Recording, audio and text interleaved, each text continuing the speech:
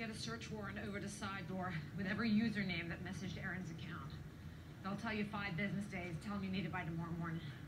Yes, ma'am. Sorry. Old habits.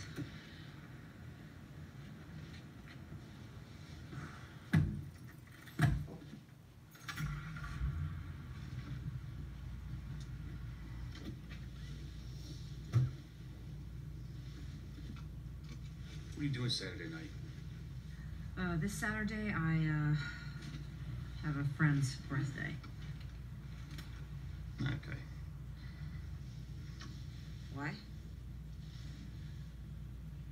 No, just, uh, what do you mind just open a restaurant in Kennett Square? And I've been meaning to check it out for a while now.